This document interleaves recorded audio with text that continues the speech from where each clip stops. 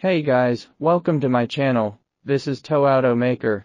Today, I'm here to answer a question from our fans. A fan told me, he watched my video and found that I used a gas melting furnace and an electric melting furnace. Ask me if a gas melting furnace or an electric melting furnace is better. Okay, first we have to analyze their differences. And I'll put a tabular summary at the end of the video. Let's get started. The heat transfer mode of the electric melting furnace is electric energy to heat energy. Generally, air supply and ventilation do not need to be considered, but it is recommended to use it in an open environment. In contrast, the heat transfer method of gas melting furnace is gas heating, which needs to be used in a ventilated environment. It is also recommended to use it in an open environment. Their temperature ranges are similar, and they both meet the daily metal smelting requirements.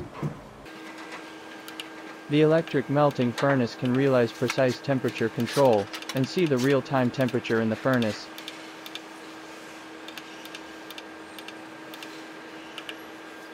But the gas melting furnace can only roughly adjust the size of the flame in the furnace, and then adjust the temperature by adjusting the air intake. Notably, gas melting furnaces melt metal faster than electric melting furnaces.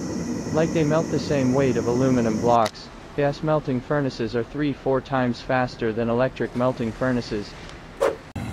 About the state of the two melting furnaces when they are used. The gas melting furnace have a naked flame when in use and needs to be used in an open place. At the same time, pay attention to keep away from flammable substances such as fuel.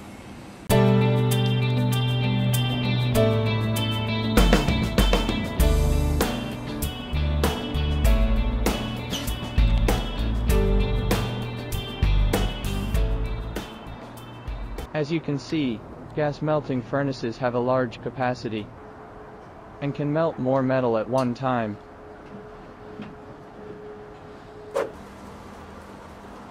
Electric melting furnaces are not good for melting large pieces of metal.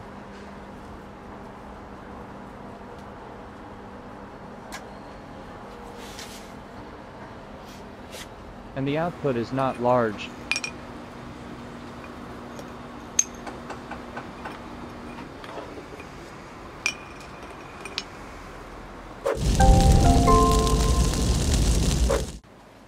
At present, the price of electric melting furnace will be slightly higher than that of gas melting furnace. However, the price will fluctuate according to market conditions. Generally speaking, the gas melting furnace has a simple structure and a long service life, while the electric melting furnace is more complicated and has a short life of the electric heating elements included.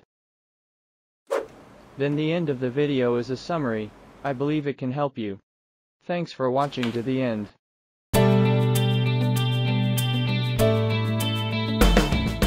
Welcome to share your thoughts and experience in comments.